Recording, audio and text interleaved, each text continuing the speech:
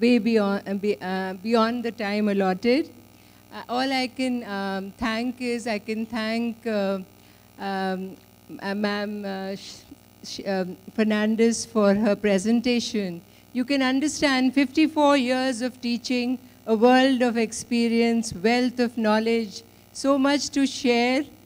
And what comes across most commonly and emphatically is a love for learning, a love to be a teacher, and it's no, uh, it's undoubtedly the reason why she got, I mean, it's not at all surprising why she got the prize, the President's Award for Innovative Teaching. Congratulations once again, ma'am, from all of us.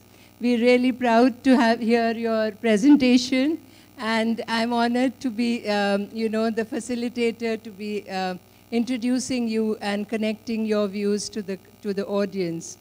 Uh, I'll just sum it up in very few words. As the topic was beyond classrooms, we need to go beyond our classrooms to facilitate and make uh, teaching, learning process easy for students, adjusting according to the needs of students. Can, please, adjusting according to the needs of students, changing role of teachers, I mean, it's not the didactic dominating, uh, teacher-dominated, teacher-led lessons, what one saw. Teacher wears many hats, and she's an all-rounder, she's pure, she has, she's passionate, she has the urge to help, she has the right attitude, and it's, uh, she expects good for everyone. She's a disciplinarian. There are many, many challenges, and she's a lifelong learner. We all have to constantly reinvent uh, ourselves, constantly be learning all the time, and our role uh, is very crucial. That, in nutshell, is all that we have to be ready for future. We don't know, I mean, a lot of us, uh, our parents said, or before that, we also said, we never learned it this way. But then we don't know what the generations to come would be facing, the challenges of tomorrow. And our classrooms have to be beyond classrooms, they have to be futuristic, and this is a step today in that direction. Government of Singapore spends money on that and adapts, and it tailors approach to new demands. We listen, there is a lot of research, that's all important, and uh, that in nutshell sums up all that. There was much to say about the research, and um, I take a lot of creative writing workshops, but believe me, I learned so much today. I'm honored uh, to, for that because there's always a lesson for us. There's so much to learn, actually. Uh, I will not take much time about my experiences. As an educator and an auditor and an inspector, we are called inspectors, when we go to see different schools, and um, I have the privilege of uh, seeing about 200 uh, odd more than that schools of different curricula. I'm very proud to say that Indian students are not, um, almost always very well behaved. Uh, but uh, they tend to be passive and uh, learning, which is slowly changing to more active learning.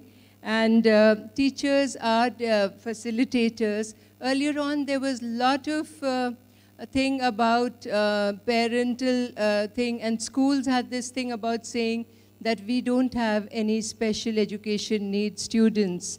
Uh, we kind of put it under the carpet that there was, uh, and took pride in the fact and justified lack of differentiation.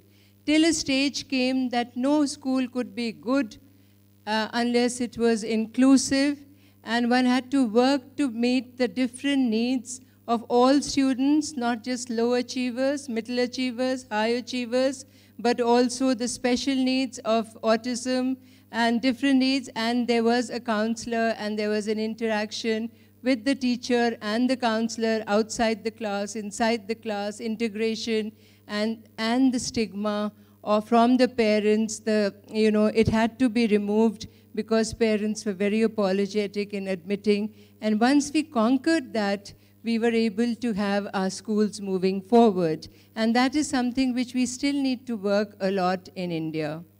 And, that, and then, of course, uh, today, in this age and time, we are working about uh, the four C's, which is, of course, 21st century skills of collaboration. So our seating arrangement even the, in the best of schools, uh, you know, uh, except, I mean, I can't generalize, but I did take a workshop a few days back, and this, it's a very traditional way of seating. So right from the seating to classroom arrangement, once you have the uh, you have to facilitate collaboration, which is important. Then there has to be stress on communication, creativity, critical thinking. Lot of CBSE schools, even when CBSE emphasized on HOTS or high order thinking skills, they said 20 marks HOTS, rather than changing the whole attitude, the whole approach to teaching, to thinking. I would want that. And of course, this is, of course, one of the best jobs in between. When I left teaching to join a newspaper, I realized that I love the adulation of students. I liked when, uh, you know, parents looked up, students looked up. I didn't want to be one desk amongst hundreds. I wanted to feel special, and teacher uh, in education, one feels like that. So then I got back again to schools. So I, and I really enjoy that. My last bit is not so much about uh, uh, what we have, is that one thing which I learned from the uh, presentations today about uh, education in Singapore.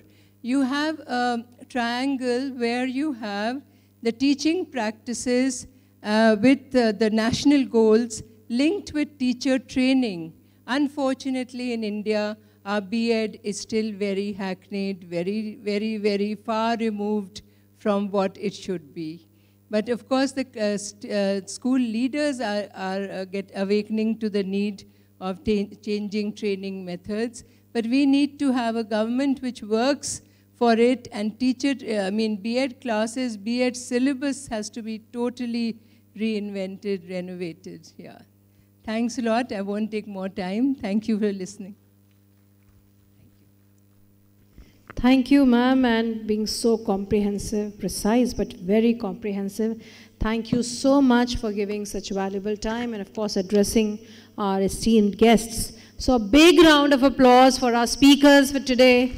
It was definitely, definitely a great, enriching experience for all of us. Do you agree? Now, we don't have much time because we all have to get ready for the cultural extravaganza. And uh, the feedback forms are there on your table, so do, do, do not disperse. Right now we have to be seated for a minute because now I'd request, uh, first of all, to uh, the volunteers to kindly collect the feedback forms from the tables.